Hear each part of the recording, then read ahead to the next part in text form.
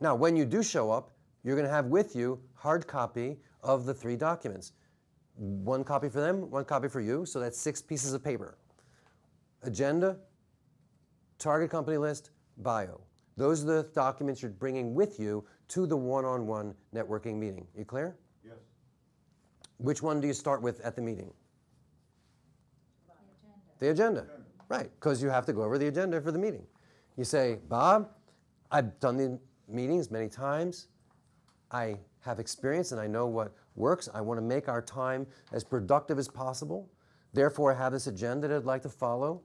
Take a look at it. Is it okay with you? And they'll say, Yep, looks fine to me.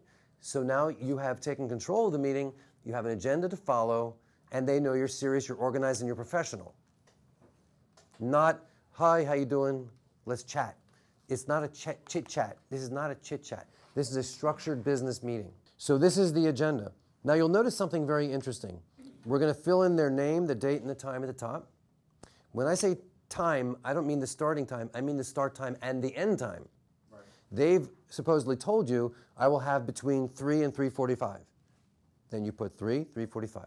And it's your responsibility to manage the time, to move the agenda forward, and to end the meeting at 3.45. Now, if they say, hey, I got plenty of time, don't worry, this is fascinating, let's keep talking, then fine, stay longer. But assuming that they don't say that, you ended at 3.45 on the button, out of respect for their time. You'll also notice there's a section in the middle of the page which is a little chart. It says name, company, position, phone, email. I want them to see this. In fact, they saw this when you emailed it to them Right. four days ago. Right. Why? I want them to see this. I want them to know, to do a little homework maybe, I want them to know that they are going to be asked for contacts and referrals. I. I don't want it to be a surprise. I want them to bring their database with them. Whether it's a Rolodex or whether it's an iPhone, I don't care what it is, I want them to bring their contacts with them. Right then and there. Not, well, let me think about it for it and I'll get back to you if I can think of anybody later. No, they will never get back to you. It's got to be done then, right then. Strike while the iron is hot. When you're in front of them, they have more investment. They're engaged, they're invested. Get them then to give you the names, which are coming out of your conversation about the target list.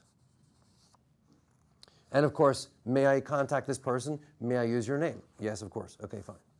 Sometimes they'll say, let me call them, I'll call them myself and tell them to expect your call. They might say, let me take out my iPhone right now and I'm going to send them an email, tell them to expect to hear from you. Great. But whatever it is, you're taking control, you're asking for names, referrals, contacts, and you're filling up this chart, or at least getting three to five names if you can. This is supposed to be a balanced equation. This is supposed to be quid pro quo.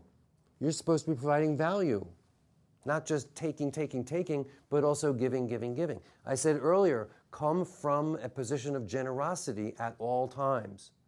Always seek to give before you seek to get. This is really, really important in the whole networking process. So during the course of this meeting, this networking meeting, you're going to commit to doing certain things, and I'm going to commit to doing certain things. We're not going to rely on our memory, we're going to write it down.